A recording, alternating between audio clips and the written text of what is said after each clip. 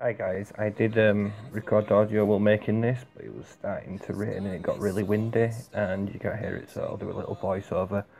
So this is a video of me installing a hour meter on the brand new SP505R from Mountfield. A big rear roller mower, we absolutely love it so far, we've got about two hours on it and the hour meter's just arrived now so I thought I'd get it installed. Um, saying the kit, you get the HT lead which I've got in the picture now. That connects to your spark plug. Um, you get the module and on the back of the module you have where the wire inserts. It's a line at the bottom and fixing screws. It's a really cheap affordable kit you can get from eBay and Amazon. And I think they're only about $3.99 to $6.99 depending on how quick you get your delivery. And they're really super easy to install. You can do it with the casings on um, but as you can see you couldn't see what I was doing so I just stopped the video in a second and quickly removed the cover. There you go. So the instructions said to wrap it around three to four times. I always go six to seven times fill the HT lead of the spark plug up as much as possible um, within reason so you can still remove it obviously for maintenance and for when you flip it over to clean it or anything like that. So you just coil it round simply um, and it comes with cable ties but again I don't use the cable ties that came with it. I use a larger cable tie. I found it stands up better and holds to the unit itself much better.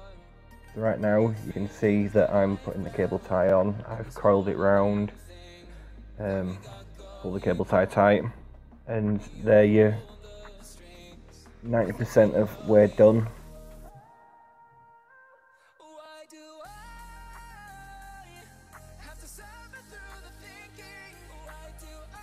I'll do a little close but you can see they've got six coils around it there.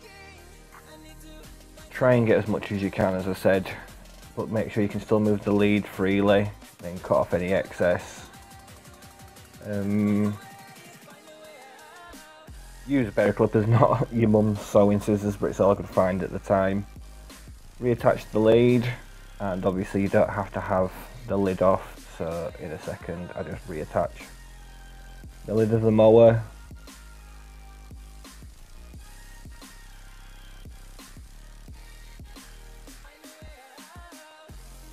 Mower's lid's pretty simple to put back on actually. Um, there's just one bolt unlike some of the older models where you had to try and find four or five trail screws that went down through the lid into the engine. Clips on, fuel cap back on, this is the like decorative cover, has the model of the engine on it and stuff like that. Yeah, that's a GoPro mount, so there's some footage coming from that. And just one bolt to the side of the air cover. Um, so now this is where you've got to try and decide where you place it. If we didn't use these motors day in, day out, and we check them regularly for the hours, and we use the photographs for Instagram and YouTube, I would actually hide the hour meter in a much more, like, less conspicuous place um, but because we want to be able to see it, use it and check it, I put it there directly on the front and you won't have to drill the hole. The only reason I did that is so there's no loose cable uh, dangling across the engine because you get interference then. You need to have the cable as tight as possible in the back of the unit and from the spark plug's HT lead. Um, so as you see here, not the best way with my hand in the way, but you place the cable in the back of the module and you've got to force it in there really tight because it reads through magnetic interference or something like that. I can't remember off the top of my head right now. So right now, I drill a little pilot hole. I've already checked behind the air cover. It's just a bit of plastic for sure. There's no fuel lines, no nothing, but make sure you check behind because you don't want to drill straight into a line or put a screw into something that shouldn't, you don't want to. Um, so you literally put your screws in. I always pre-drill the first one because it holds it in place and keeps the wire tight.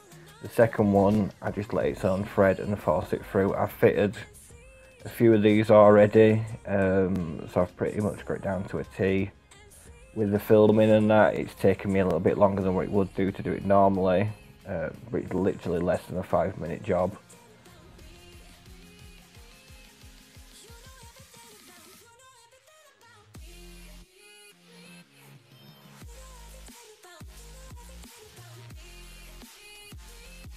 Once you've got it tightened up, double check that your leads right into the module. Once it's in there, it doesn't come out but it's got to be in there tight or it won't detect it.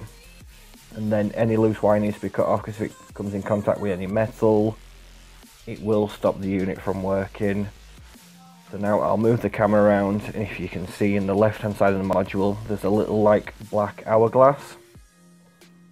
Once you pull the engine and this is cold start, first pull done, you can see the module itself, the hourglass is flashing.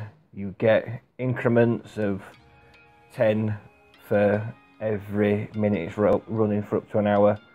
So every increment six minutes. So when it says 1.1, it's 66 minutes, and so on and so forth. Uh, thanks for watching that, and please like and subscribe.